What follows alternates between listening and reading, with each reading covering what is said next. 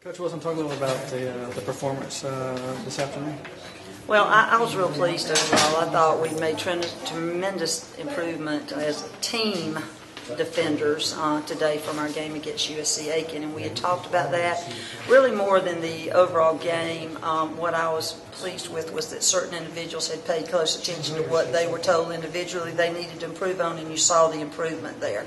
Um, we didn't shoot as well second half as we did first, um, which we could have, but I felt like we defended well. Uh, they ended up with three people in uh, double figures. A lot of that has to do with their deep three pointers that they're so good at knocking in. But overall, with this game, I was very pleased.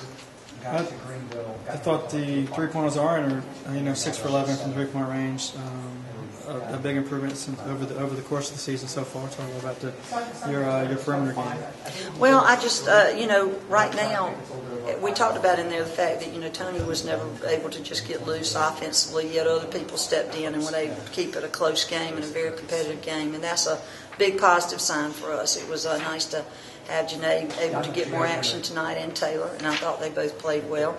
But just as a young team, what we need to continue to work on is, is getting everybody to be the complete package and not have, well, she's good on the offensive end and she's good on the defensive end. And I think we're getting closer to that.